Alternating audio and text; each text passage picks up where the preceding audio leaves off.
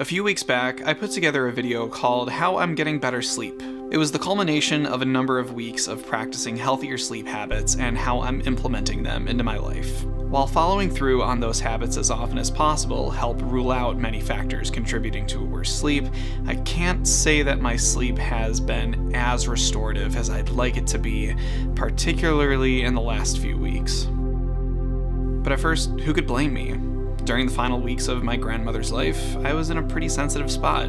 For the couple of weeks that she was in the hospital, I carried on with my life pretty much as normal. But I was kind of feeling always on guard, wanting to be available to help my family out if anything was needed, wanting to find good times to pay her a visit, but never knowing until the day if she's in a good enough state to be around lots of people, and of course, knowing at any moment I could be getting that fateful phone call. Why is my mom calling me? I mean, nobody calls anymore except if somebody died. Oh. I mean, she was 92 years old. She lived a wonderful and incredibly full life. But losing a loved one is never easy. This was especially a tough blow because I am now officially all out of grandparents. Through being gentle with myself, paying attention to my needs in the moment, being around my supportive family, and trying to strike a balance between not depriving myself from sleep, but also loosening up about a lot of my aforementioned habits, I was able to get through just fine. As time passed, I took steps to get back to my old daily routines, but I noticed that sleep just wasn't what it used to be. Regularly, a combination of my heart rate going up closer to bedtime and ruminating on negative thoughts would make me feel more awake trying to fall asleep than I was all day. I could doze off, but would wake up soon after and immediately begin the process again. I'd fall asleep for most of the night, then wake up in the 6 o'clock hour, and the heart rate thing and ruminating would start up all over again, and it would just ruin my last two hours of sleep. It also wouldn't take much for me to start focusing on bodily pains I was feeling after a while laying down, making it harder to feel relaxed in bed. My nightly routine that I specifically crafted for myself to promote calm before sleep wasn't delivering the same results it once was. Watching videos, listening to spoken word sleepcasts, listening to music, it wasn't cutting it for distraction, nor was it helping me doze off like these things used to. But every day I would press on and say, Tonight, I'm gonna do my routine again, but this time it'll be more effective. Needless to say, it was not better or more effective. It was then I realized that there were likely factors outside of just my habits that were contributing to the worst nights of sleep that I've had in a long time. Factors that were more, for lack of a better word, biological, and hopefully steps I could take to eliminate these factors. So, first off, several months ago, my wife brought to my attention that I snore at night. Never a fun thing to hear, and it wasn't a fun thing for Robin to bring up either. But after looking into it, I learned that snoring could point to problems potentially far more serious than just disturbing my wife at night. As I was reading more about snoring, it was clear that blocked airways could be the cause of the problem, to which I noticed yeah, I do feel kind of congested uh, on a nightly basis. Not sure why, but not only will this lead to snoring, but it could just lead to disrupted sleep in general. I mentioned this to my doctor, and she gave me some prescription nasal spray, which I started taking on a nightly basis, and it did really help the problem. But admittedly, after I ran out of the first dosage, I got lazy, I never renewed the prescription, and I just kind of brushed off the problem. But now that I'm really trying to take stock of my sleep issues, there's no more room for excuses. I renewed my prescription and now I'm making sure I'm really on top of pumping one to two squirts of my secret sauce into my smell holes each night.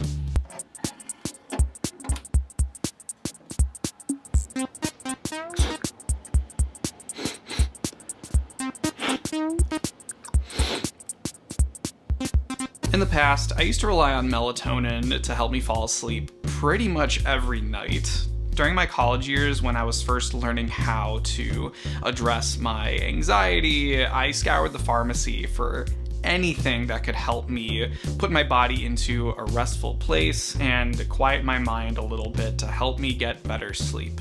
It was in one little corner of the natural health supplements section that I found a little bottle of this stuff called melatonin. I bought it gave it a try, and whether it was actually helpful or just a placebo effect, I relied on it for quite some time to help me get to sleep.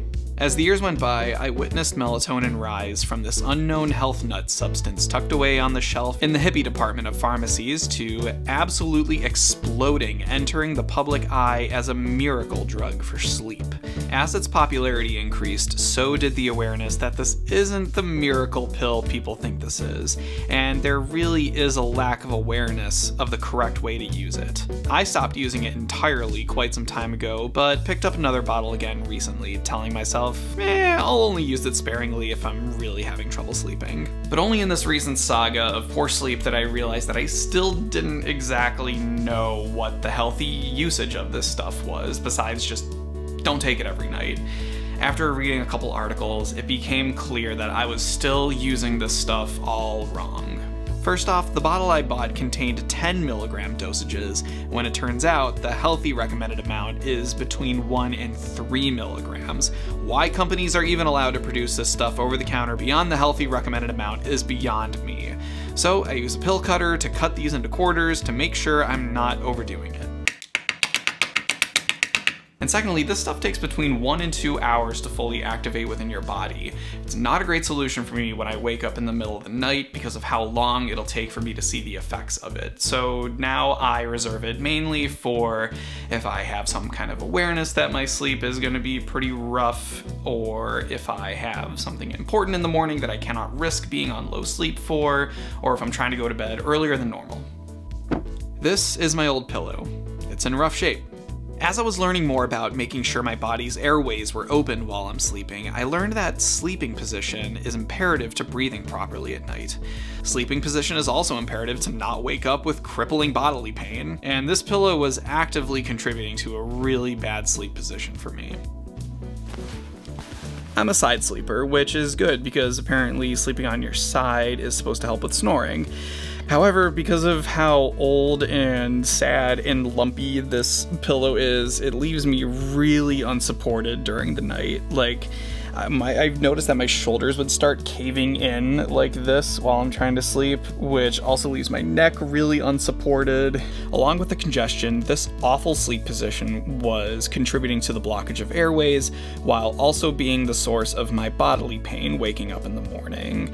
I finally decided it was just time to buy a new pillow, and this time maybe not falling into old pillow buying habits. Oh wow, look at this new pillow. It's so soft and squishy and it feels oh so good when I press my head up against it. Wow, look at how cheap it is too. I can't wait to take you home, sleep on you for a year, wear you out, complain about body aches, and then go back to the pillow store to buy more cheap ass pillows and then continue to complain about body aches and how my pillow doesn't support my sleep position and then get another pillow and complain about more body aches and then this time, for the first time in my life, I actually did my research and invested in a good pillow.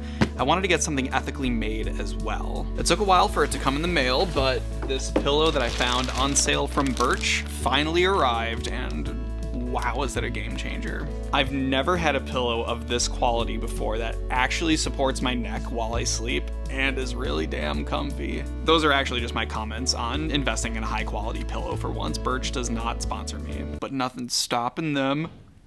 Over the past couple weeks, I have actually been sleeping through the night now, not being bothered as much by a lack of air or body aches. Admittedly, it did take a lot of willpower not to just go down to Target and buy whatever was readily available. Even if I did buy something a little bit higher quality, I'm still trying to invest more in uh, ethically made home goods, and thankfully, this was well worth the wait. I can thank my nasal spray, a healthier relationship with melatonin, and a brand new pillow for helping me stay asleep and wake up with fewer middle of the night distractions. However, getting to sleep in the first place was still proving difficult this heart rate and rumination thing was driving me nuts. I've already carefully crafted my nightly routine to promote as much calm and peace as possible. Like, where's all this anxiety coming from anyway? Again, I was more forgiving of myself and my vulnerable mental state during my grandma's final weeks, but I'm ready to move on from that. I'm not kept up at night feeling sad about my grandma's death. I feel very at peace with it. Anytime that I needed to grieve or get any of those emotions out, I've been able to give that to myself. Like what what is holding me back from just moving on? And then it just kind of came to me that while my mind and my body aren't being impacted by grief right now, they were in those final weeks of my grandmother's life. And I responded accordingly, living in the chaotic unpredictability of all that, balancing my own emotions with my family's needs, with my responsibilities, with facing the inevitable. I did the right thing just by taking everything day by day. And in coming out of that, I put all of my mental effort into forcing myself to focus on what's normal, consistent, and routine. But in forcing that into my life, all I was doing was creating tension upon myself. And tension loves to come out at night. Hence the heart rate, hence the ruminating, and hence the distractions failing me. So my therapist recommended two things. The first, I expected, slow the f down, focus less on forcing life to be back to normal, focus more on allowing moments of peace. But I was not expecting her to tell me to Google vagus nerve exercises. My overly simple explanation that I got of this is trauma is stored within the body, and these exercises that activate this vagus nerve help release trauma. I am in no way qualified to go into depth on this or explain these exercises, so links in the description below if this is something you're interested in learning more about. For now, here's some b-roll of me doing one of the exercises. It was pretty recently that I incorporated this practice into my nightly routine every couple days or so. It's tough to know whether I should credit this exercise, taking the focus off getting back to normal, or just the passage of time, but I do feel myself slowly having an easier time falling asleep. The times in which my heart rate and ruminating thoughts have kept me up have fallen. I'm sleeping through the night better than ever, doing more to promote healthy sleep biology, alongside continuing my healthy sleep habits as often as I can. I mean, what can I say besides Viva Las Vegas? Okay, stop, stop, stop, stop, stop, stop. First off, shame on me for Viva Las Vegas. Shame on me. That was not funny. So you've gotten through the whole video, thank you for that, by the way, and you might be wondering, David, you just spent the last how many minutes talking about your very specific sleep problems that only somebody with nasal congestion, a crappy pillow, and a dead grandma might find relevant. Why was this worth all the effort of making a video about it and posting it online? Well, I'm going to tell you why this matters because I like attention. No, that's just more jokes! This matters because there was a time where I didn't feel like I had any power over the negative things in my life. I've been dealing with poor sleep for quite some time now, and it wasn't too long ago that my default response was just, oh, you know what, that's just the way life is, or like even worse, you know, everybody's getting poor sleep nowadays, so you know, this is just normal. And I wish I could go back in time and just talk to my younger self and be like, dude, if something's wrong, if something is not working in your life, you do not have to accept the way things are. I mean, maybe acceptance comes later for the things that we don't have immediate control over, but before then, you at least have more power than you're giving yourself credit for. You can educate yourself. You can have open conversations with loved ones. You can talk to professionals. Yes, there can be issues that can be beyond yourself that immediate action or education won't solve then and there, but at least see how far you can get. That's better than just immediately accepting your suffering, or worse, only relying on some kind of miracle pill solution. So that's why sharing this matters to me.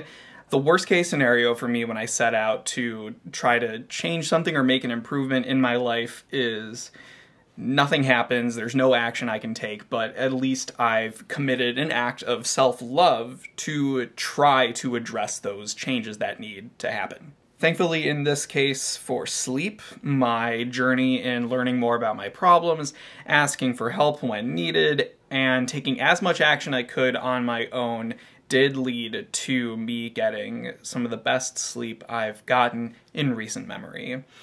Thank you so much for watching, and love you, Grandma. Here's a cat